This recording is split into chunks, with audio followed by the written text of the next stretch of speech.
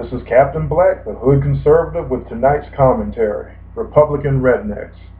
Memo to my redneck friends who aren't racist, like Justin Time, the Redneck Superman. Obviously, I'm not talking about y'all. But I am talking about Jim Allen, the Montgomery County, Illinois GOP chairman, who made the following comparison. He compared Erika Harold, a former Miss America and current congressional candidate, with a quote, streetwalker who is being used by the nefarious Democrat Party and even more nefarious, in his words, RINOs, Republicans in name only, to unseat a quote, legitimate Republican candidate. Memo to the minority outreach gurus. If you don't want GOP to continue meaning KKK in the minds of people in zip codes like mine, you may want to rein in guys like this.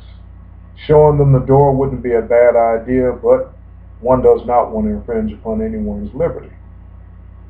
But in our got you politics infected environment, every time an email, tweet, or public statement like this goes out, the Democrat Party should send the person a check because you are doing their job for them.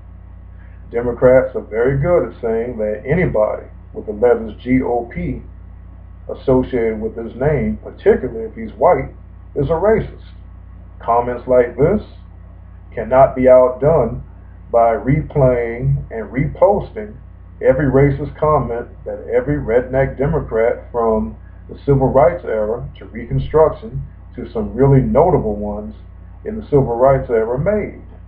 You can't do it.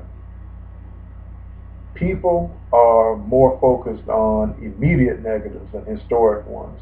And this gentleman's immediate negative, I promise you, is something that will dog the GOP's footsteps as it tries to march down the road to greater, quote, minority outreach. And I have to say that in our increasingly ethnically diverse America, those whom you call minorities are in fact the new majority emerging in this country. Now, American blacks like Ms. Harold have a long history of being Republicans.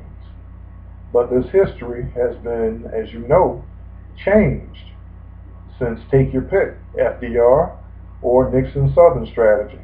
Now, we can argue about how people deceived and bamboozled black voters into supporting the quote Democrat plantation, and that's cool. But this guy's email did not come from the quote Democrat plantation. It came from a county GOP chairman against a congressional GOP candidate. So our work is cut out. But I think that the path out of this is fairly simple. Black folks do not attend Republican events. Republicans do not attend black folks events. Here in Louisiana, New Orleans particularly, there are a number of black events. Essence Fest is coming up next month. Wouldn't it be something to have a Republican Party recruitment booth in the middle of a sea of black people? Hmm. Do you think anybody has thought about that? I can't say for sure. But what I can say is that emails like Jim Allen's go a long way to cementing in people's minds the concept that Republican and redneck are really two names for the same sickness. Thank you.